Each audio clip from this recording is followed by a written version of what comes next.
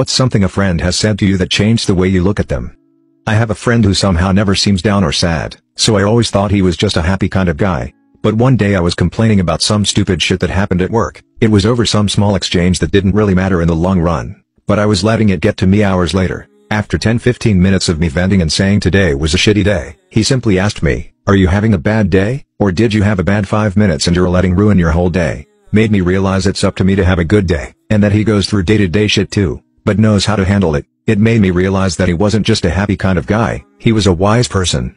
My first year of college I was feeling a bit lonely at Christmas time because things weren't working out for me to get back home with family for the holidays. One of the friends I'd met on campus first semester invited me to spend the holidays with him and his family and to meet his friends back home. It was if he and his family had adopted me for the occasion, and made me feel truly included and part of the entire experience, as did his friends there too. His invitation made all the difference and was the start for me to do similar good deeds for others.